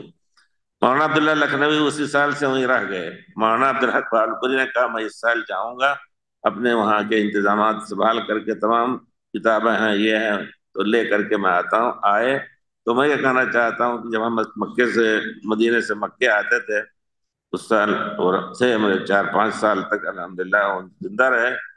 تو ان کے درس میں ہم بیٹھتے تھے فجر کے بعد۔ احرام کی حالت میں ہوتے تھے۔ عمرہ کر لیا جا کر بیٹھتے تھے۔ تو پکڑ کے لے جاتے تھے اندر۔ کہتے تھے، چلو ناشتہ کرنے۔ گھر وہیں قریب تھا۔ تو کچھ دیر کے بعد نکلے تو کہا کہ ان کے کسی پوتے سے پوچھا، کہا، دادا بخاری شریف پڑھ رہے ہیں۔ دادا بخاری شریف بخاری شریف کی تلاوت کرتے تھے وہ۔ کہتے ہیں، وہ فجر کے پہلے ایک جز، قرآن کا پڑھتے ہیں۔ اور فجر کے بعد آ کر کے تلاوت کریں اس کے بعد نکلے، اس کے بعد ناشتہ کیا، کرایا جزا ملک تو میرے کہنے کا مطلب یہ ہے کہ الحمدللہ قرآن کو اسی وقت سمجھا جا سکتا ہے جب قرآن کو عربی زبان سے پڑھا جائے۔ واللہ یہ بہت اچھی یعنی سنت جاری کی آپ لوگوں نے۔ ہمارے ہندوستان کے تمام مدارس کو چاہیے۔ اور ذمہ دار ذمہ دار یعنی مدارس کو کے اوپر واجب ہے کہ اس طرح کا کوچنگ کوچنگ مدرسہ، اسکول کھولیں ٹائم دیکھ کر کے ایک ہی دن ہفتے میں اتوار ہی کا دن ہو اور لوگوں کو عربی سکھائیں اور روزانہ وہاں چھوٹے بچوں کو جو انگریزی اسکولوں میں پڑھتے ہیں، ان کے لیے دین، قرآن پڑھانے کا انتظام کریں۔ ورنہ اللہ تعالیٰ کے ہم سب پوچھے جائیں گے، کتنے بچے بچپن ہی سے نکل جاتے ہیں؟ ان کے والدین بھی ان کو سمجھایا جائے کہ پہلے ان کو اب آپ پہلے ایسے اسکول بنائیے کہ جس میں آپ کم سے کم پورے محلے کے لڑکوں کو سمو سکیں۔ وہ صبح ابھی چھ سال کی عمر ہوئی ہے، پڑھنے کی یا پانچ سال۔ اس وقت سے لے کر کے دس پندرہ سال تک یا دس سال تک کم سے کم قرآن اور ناظرہ اور پھر کچھ عربی، اسی طرح نماز روزے کے طریقے سیکھ کر کے پھر ان کو دوسرے اسکولوں میں بھیجیں۔ ہوتا ایسا ہے آج کل کی، ابھی زبان کھلی، اس کی تو اے بی سی ڈی پڑھانے لگے۔ دین سے بیگانہ ہو گیا، لیکن ان کو پکڑ کر کے لا کر کے ان کے والدین کے ذریعے مدرسے، مسجدوں میں بیٹھائیں اور ان کو دین پڑھانے کی کوشش کریں۔ یہ ہمارے بھائیوں نے بہت اچھی سنت جاری کی ہے، انشاءاللہ من سن سنت حسنت فلہ اجرو یہ ہے سنت حسنہ جو پرانے زمانے میں ہوا کرتی تھی، پیارے رسول کے زمانے میں اس کی اس کی تجدید ہو رہی ہے۔ جس طرح پیارے رسول کے زمانے میں تین دن جماعت کے ساتھ ویتر پڑھی گئی، پھر حضرت عمر کے زمانے تراوی پڑھی گئی، پھر حضرت عمر کے زمانے میں انہوں نے سب کو اکٹھا کر کے جماعت سے پڑھایا، کہا، نعمت سنت وحادی وہی سنت جو پیارے رسول کی تھی، اب یہ سنت، السنت بڑی اچھی ہے، ہم نے الحمدللہ زندہ کیا۔ تو آپ لوگ کوشش کریں، ہر جگہ باپ کو چاہیے کہ وہ خرچ کر کے ایسے اساتذہ کو بیٹھائے کہ ہمارا بچہ دین سیکھے۔ آخر کماتے ہیں کس لیے؟ انہیں بال بچوں کے لیے۔ کل اگر آنکھ بند ہو گئی تو چھوڑ کر کے سب کچھ جانا ہے۔ اس وجہ سے آپ ولد صالح بنائے اپنے والد کو تاکہ وہ آپ کے لیے صدقہ جاریہ رہے جیسا کہ نبی کریم صلی اللہ علیہ وسلم نے فرمایا ہے۔ اور باقی کوئی ایسی خاص بات تو نہیں ہے۔ لیکن یقیناً ہم یہ کہیں گے کہ قرآن مظلوم ہے، اس میں کوئی شک نہیں، محجور ہے۔ لوگوں نے چھوڑ دیا ہے قرآن کو۔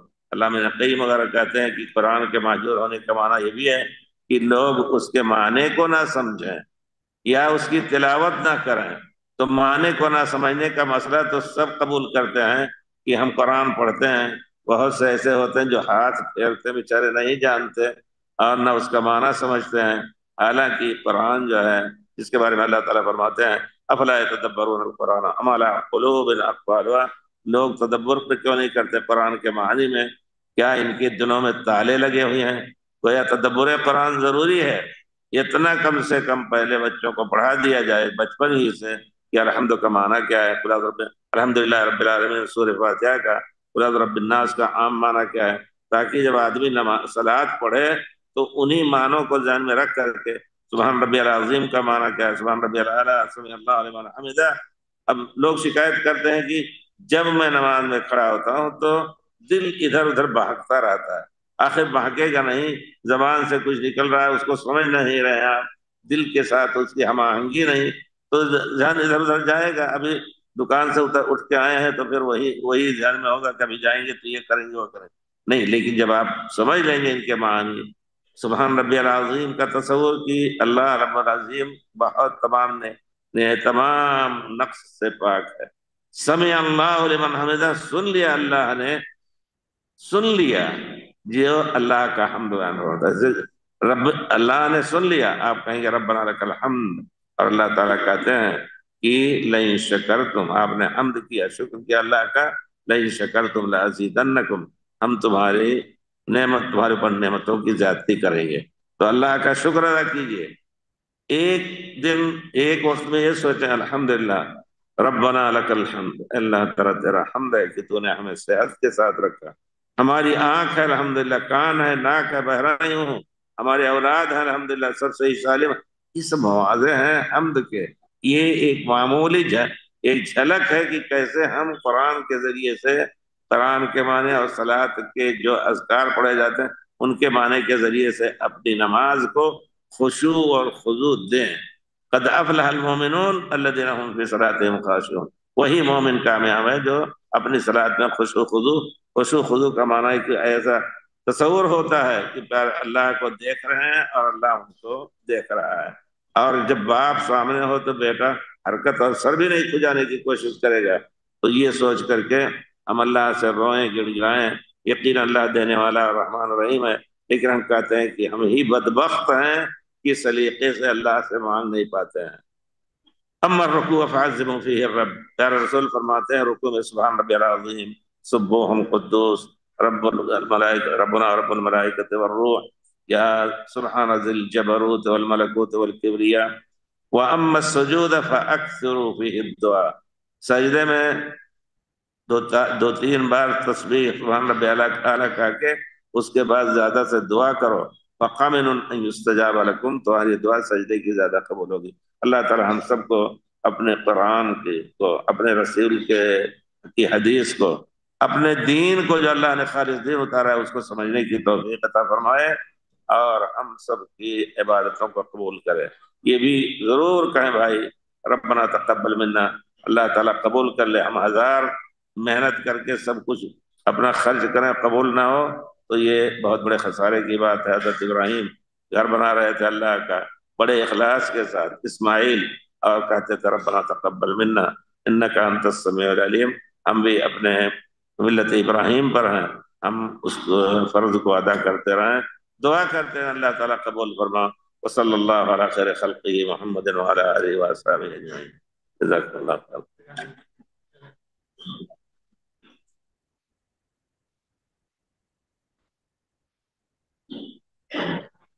اللہ کیا نام ہے بیٹا؟ جی؟